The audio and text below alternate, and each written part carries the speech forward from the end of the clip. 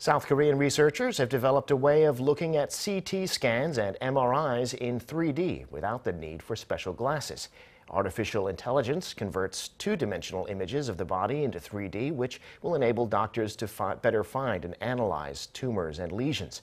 And by following the user's eye movements, it's hands-free, so it can be used even during surgery. Lee Eun-jin has the details.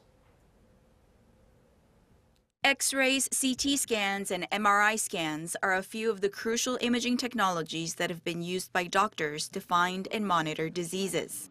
But because these images are only available in two dimensions, it leaves room for errors in identifying tumors or the size of lesions.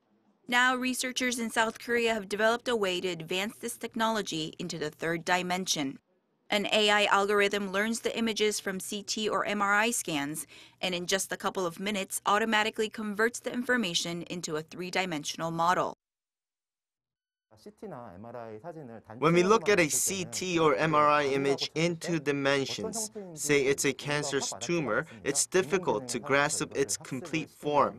We've incorporated AI technology that can learn these images and project an optimized 3D hologram. And this new technology works without the need for special glasses. One of the drawbacks of working with holograms was that they could only be seen from certain angles.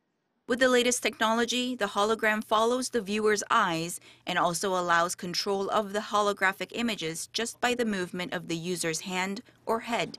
In the medical field, this means hologram imaging can be used easily even during surgery.